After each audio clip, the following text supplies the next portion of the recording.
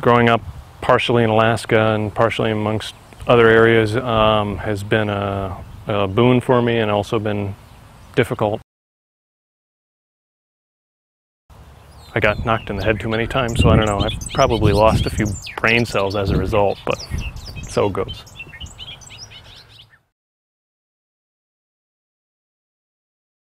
Largely, I mean, I've never felt exactly isolated, but um, you know, I might say my general experience has been different.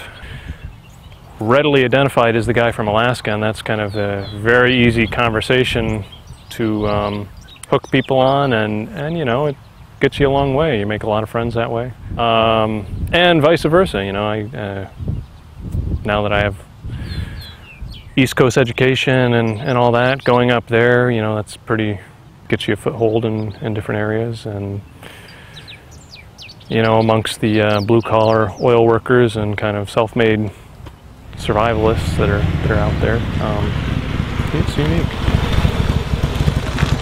Muskox Development Corporation of which I am or was the herd manager, farm manager, um, is a nonprofit which is dedicated largely to creating a northern form of sustainable agriculture.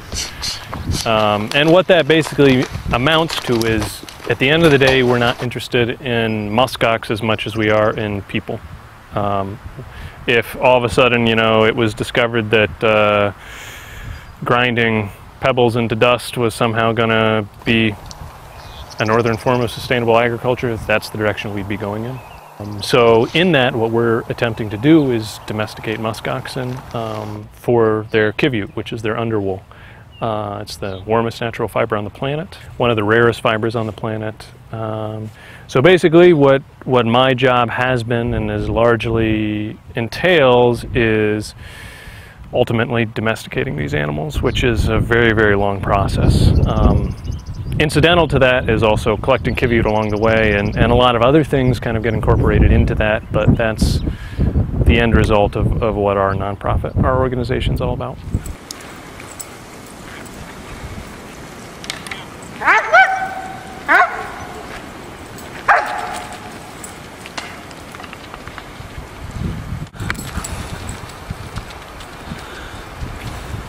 John Teal was an anthropologist and was a visionary. He, you know, had a lot of um, pretty uh, interesting ideas that um, he actually tried to practically institute.